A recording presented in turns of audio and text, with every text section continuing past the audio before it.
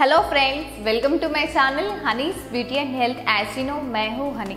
आज का वीडियो एक रिक्वेस्टेड वीडियो है।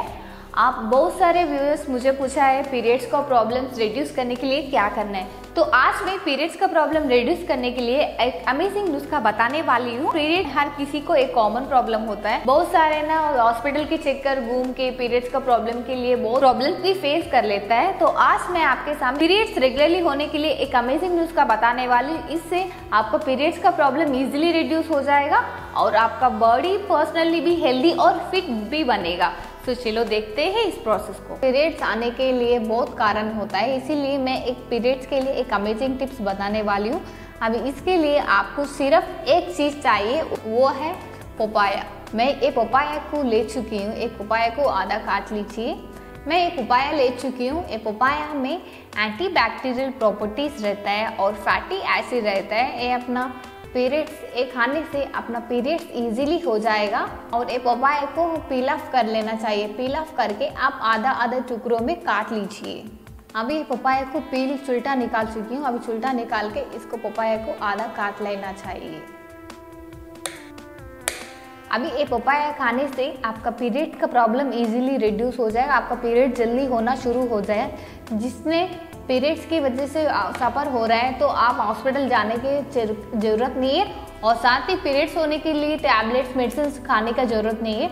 आप सिर्फ़ एक पपाया डेली खाने से दो दिन में आपको रिज़ल्ट मिलेगा, आपका पीरियड्स इजीली आ जाएगा ओवरनाइट में। पपाया में विटामिन और बहुत सारे विटामिन मिनरल्स और प्रोटीन्स रहता है। तो पपाया जूस खाने से भी आपका पीरियड्स इजीली हो जाएगा। आप डेली सुबह उठने के बाद ब्रश करने के बाद एक पपाया एक रिप एक से या दो पपाया खा रिप्स खाना चाहिए, एक से दो पीसेस खाना है। खाने ऐसा आप दो दिन खाने से ओवरनाइट में आपका पीरियड्स हो जाएगा। अगर जो भी पपाया खाने को पसंद नहीं है तो वो लोग आप इसको जूस बना के भी खा सकता है। पपाया खाने से जिसको ने पीरियड्स के प्रॉब्लम सफ़र हो रहा है, वो लोग पीरियड्स को जल्दी हो जाएगा।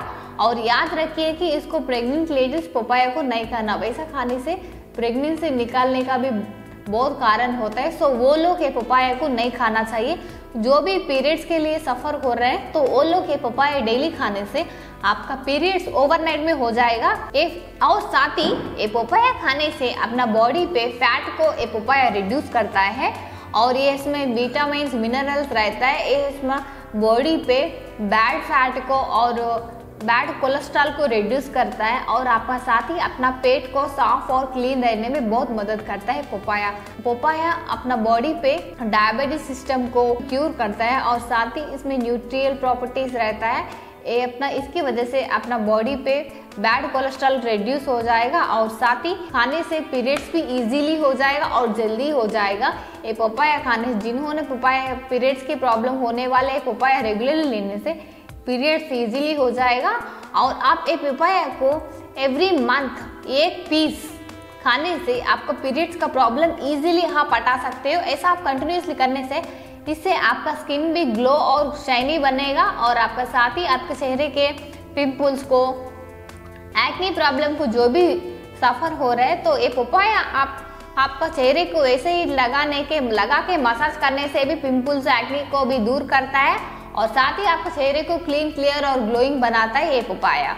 और ये पपाया खाने से भी अपना स्किन को इनर ग्लो लेके आएगा ये पपाया।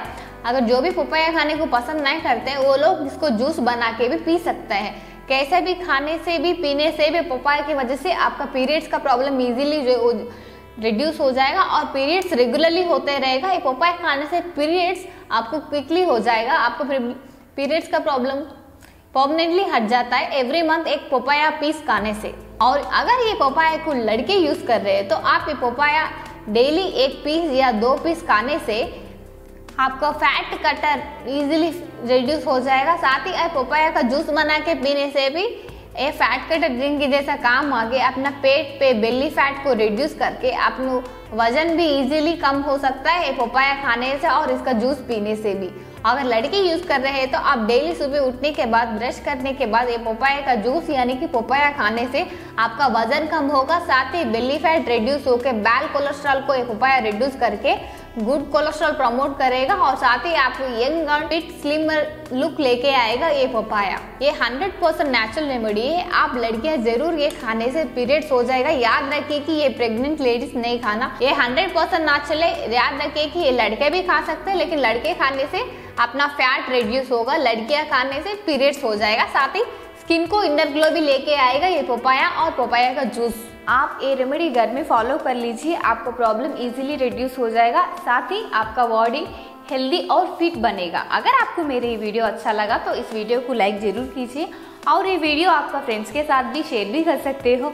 और अभी तक जो भी मेरे चैनल सब्सक्राइब नहीं किए तो प्लीज़ सब्सक्राइब मेरे channel Honey's beauty and health आगे से और अच्छे अच्छे वीडियोस लेके फिर मैं आपके सामने आऊँगी। जब तक के लिए बाय बाय